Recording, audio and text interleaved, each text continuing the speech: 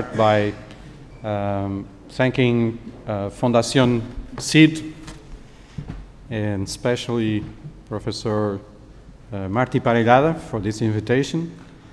Um, it is an honor for EUCEN to be here and uh, try to present some ideas about the topic of the project. Um, as you can see in the program, um, I noticed that the title of the presentation had no title, uh, we, which gave me some freedom to present not only the views and um, personal views, and, but also some perspectives from, from EUCEN on what we are um, uh, discussing during the whole day. Um, I have to question uh, if I'm the right person to do this opening speech, but I'll do my best. It is an honor to be here in this uh, beautiful room and at this university to do this. Um, I, I, I placed this um, subtitle, um, which is uh, not only um, a view of EUCEN, but it's also my personal view. So some of the things that you will see during the presentation is something that um, it's, um, uh, how do I say, a mixture of the position of EUCEN and, and my positions and my opinions of what we are talking about. Um, and mainly the contributions I want to give for the whole day, um, you, you, probably know more about the issues than what I know and what I can transmit, is some points that I have not seen um, during, uh, let's say, my appreciation and discussion about the project. So, um, uh, for instance, this question of the qualification.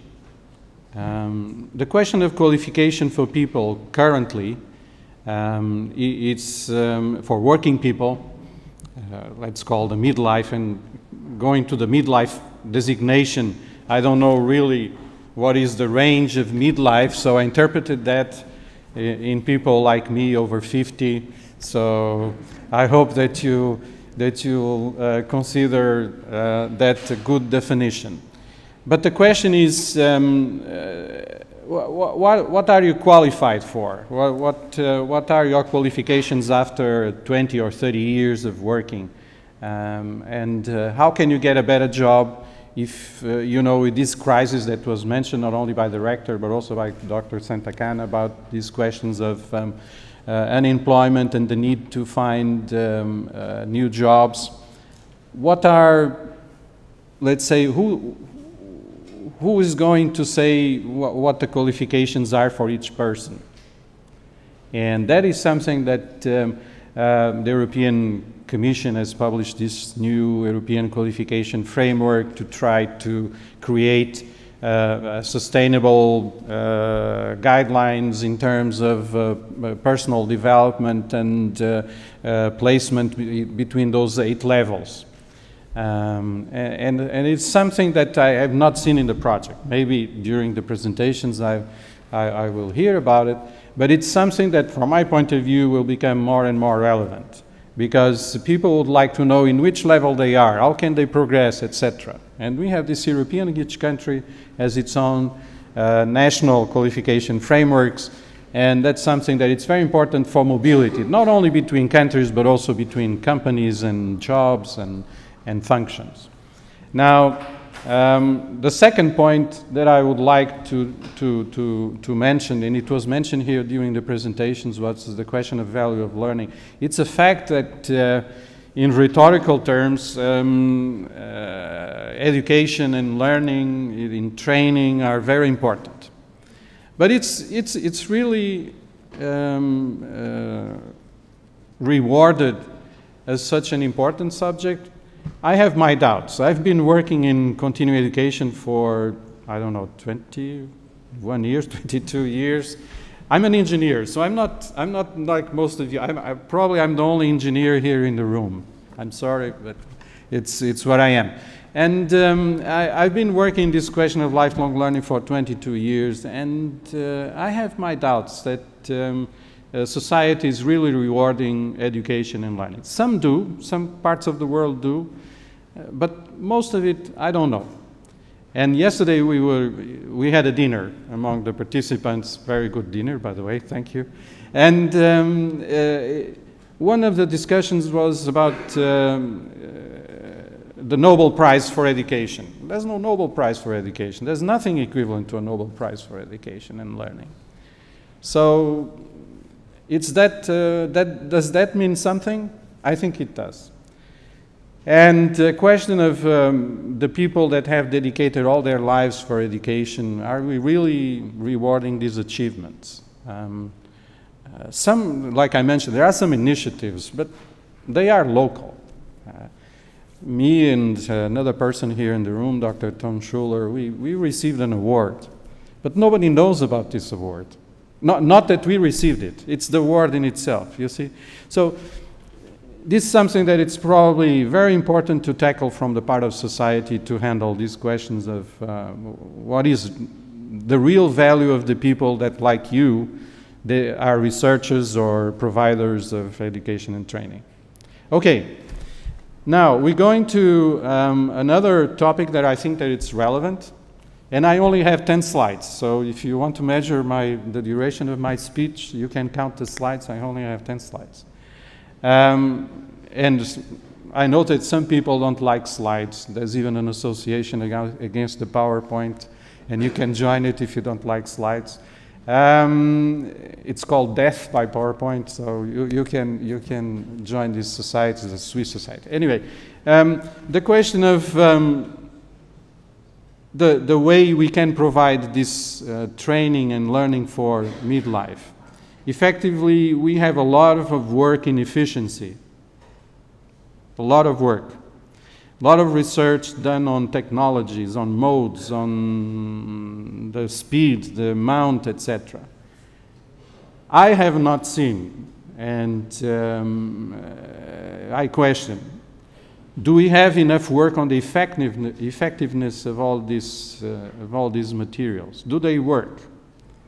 Uh, thus, the modes that we use uh, are really effective in terms of providing learning and training, the increase, uh, the, the, let's say, the acquisition of the competencies from people that are going through all these uh, different uh, modes of, of teaching and training. I also have my doubts. I don't think there's enough work on effectiveness uh, how to align the assessment modes, for instance, if we really want to guarantee to certify that people have the, the, the competencies they are supposed to, how to align these uh, learning outcomes with the proper methods, methods of assessments. The assessments are still done in written papers or, or, or oral exams. And is this the right way to verify the competencies we are looking for? And of course, it was mentioned here the MOOCs and and, uh, and other modes. Uh, MOOCs, from my point of view, is nothing new. It's just a fashion from my point of view, and, and this is personal. So if you don't agree, that's fine. But um, it's open education resources. It has a good advantage, and I mentioned that uh, yesterday during dinner, I guess, that it's giving more credibility to uh, virtual learning. But um, it is just um, a, a, mode of, of providing uh, possibility of um, getting educated and trained. So it's a fact. Anybody uh, can have currently access to most uh, uh, kinds of training and learning. It's global, the access in many ways it's free, the Open Education Resources Initiative by UNESCO uh, and the OECD is very strong on this matter, so there, there, are, there are a lot of materials for having uh, training and education in any types of life. Um, what, for instance, EUCEN has done. Um, EUCEN has a proposal uh, right now to combine two things that it's not, and it's also in your uh, in the materials I've, I've, I've, um, I've uh, consulted, uh, the combination of higher education and VET. Uh, there's this division some, some of you are German, so you know very well, there's this division between VET and higher education that from my point of view, and from the point of view of EUCEN, it's not real. Because most of the lifelong learning is professional. And VET says, no, no, we are the ones that give uh, professional training and professional education. So I don't believe that. I think that they, they are just uh, working apart, two worlds working apart, but in the end, it's the same thing, or very similar in terms of uh, the type of training and education they provide. So the proposal from EUCEN is um, um, uh, to work together with, with VET associations. So we have three associations, and we have, um, we have um, four universities and three VET providers in this proposal. And basically, uh, we are trying to address the levels of five to eight, so the higher education from, from the basic higher education, the foundation courses in the UK, to, to, to the doctorate level in this proposal. So like I mentioned, people over 50, taking into account the formal and non-formal types of training um, for active people and what is called aging learners. Okay, let, let me show you another, um, another example. And I tried in this presentation to, to, to try to present things that happen and things that, are, let's say, are current. Um, it's the, this European Distance Education Network is the most serious uh, network in Europe in terms of virtual learning and distance learning, etc. And it had a conference in Porto, in my university, um, last year. And the title is connected with what the project is addressing. Uh, it's this question of open learning generations closing uh, the gap from generation Y to uh, mature lifelong learners. And th these are the, the, the, collections I've made from the abstracts, not from the speakers. I, I put aside the speakers because speakers are special type of uh, themes that they choose. Uh, but anyway, I, have the people that presented abstracts, about 120 abstracts, um, there were three, three tags, three main topics, digital learning, learner and social characteristics, open education's research quality, and work-based learning. And these were the topics that they addressed. Um, and, and, as you can see, um, uh, there are some concentrations on, on, on uh, let's say, um, uh, topics uh, that are relevant for distance learning and for the different types of, of learners, like the midlife. Uh, but they don't go exclusively to the question of, um, for instance, um, um, uh, the, the, way the midlife learners learn. Um, uh, there's often uh, uh, the confusion or the, the, the, let's say, the um, not um, uh, looking into specific types of modes and, and ways that uh, midlife and older uh, life uh, the senior people learn. Uh, there's a, this question of the gerontagogy, and let me tell you a story that was funny. We had in Porto many years ago a session precisely for the, the how to train midlife uh, and uh, older senior people. Like in Spain, they call it the mayor, the bigger, uh, which I think it's a very nice term, the people that are mayor. Um, uh, they, and we, we placed an, an, announcement in the newspaper. And I, it was, uh, in Portuguese, it was Gerontagogia, but in English, Gerontagogy. And the, the, new, the, the announcement came in the major newspaper. Uh, and uh, my secretary called me and said, they changed the, the, the advertisement in the newspaper. And they, instead of um, uh, they, they placed gerontology. And we called the newspaper, and the, the, the, lady said, I thought you made a mistake. So, uh, how many people know what gerontagogy is? A lot of people talk about pedagogy, but it's not the same thing. Or andragogy, it's not the same thing. It's, uh, you, we really have to think if this generation that you address have um, probably a different type of, uh, modes for learning and training. Also, let me give you an example um, that I think that it's a very good example. It's in Canada. Uh, I've worked with, uh, with uh, Professor André Lemieux, uh, the University of uh, Quebec, Montreal, and is an expert um, precisely on this type of, of learning. They have um, They have um, a certain diversity in this association. It's an association that has different types of, of, of members, not only universities, so there's a large involvement from society in this participation. And also, they try to address um, the, the, the, a lot of um, uh, sectors of the possible learners. So it's very, also very interesting to, to look into what uh, they have done already. Um, let's see what the European Commission also does. Uh, I don't know if you know the EVE platform, but it's a platform where all the projects financed by the European Commission are, are described.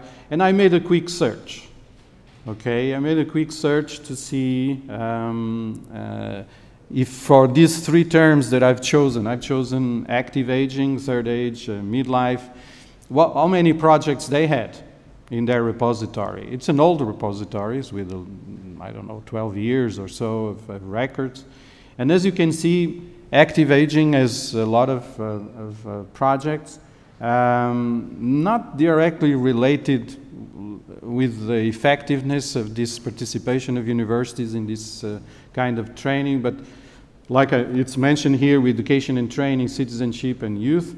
Um, for the third age, for instance, older people, uh, there are only uh, four projects. And for midlife, for instance, there's only one, yours. Okay, I'll be finishing quickly, like um, Dr. Karsten is showing. There's also another record that I would like to show you for the European Commission, which is the um, there's a research center here in, in Granada for the vision of Europe uh, from the European Commission that is trying to provide, um, let's say, future scenarios. And they made this year something that it's called Vision 2030. And they address these sectors. And if you find the papers that people produced, uh, only two mention this question for all. All of others address the other sectors but not the question of lifelong learning and uh, specifically what we are talking about in this, uh, in this um, uh, session. Okay, so is this really a dream? Is this something that we can think that um, uh, everybody can have access to education and training as it needs or it's supposed to have? I don't think there is enough investment from society in these terms. We, we have heard the crisis, all, all the universities have their uh, budgets reduced all over Europe. I don't, maybe in Scotland that doesn't happen, I don't know. But um, uh, in most of the universities, that's what happens. And uh, this is necessary. We really have to have um, uh, education for all in terms of the sustainability of the society, not only in terms of the social cohesiveness, but also in terms of um, uh, better qualification of, of, the society. So uh, we really have, like I mentioned here, to have a higher ground for this type of, of, of position. I don't think it's enough. Uh, we have some successes, but I don't think it's enough. Okay, my final slide.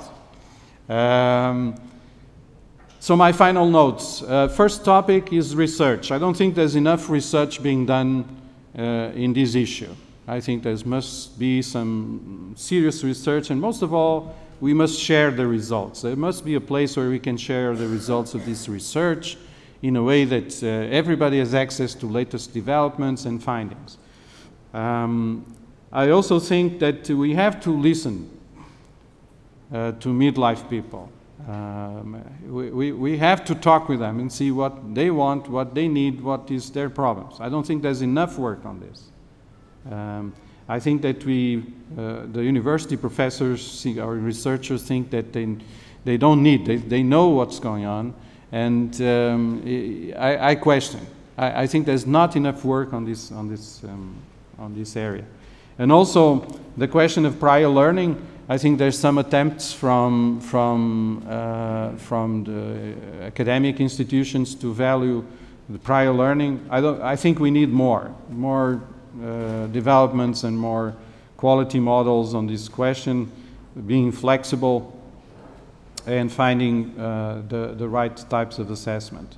And I also think, that's my last point, uh, uh, being a university professor for about 40 years, I, I, don't think that the professors at the universities are ready to teach new publics. Uh, we had a conference on the Portuguese presidency to attract new publics to higher education.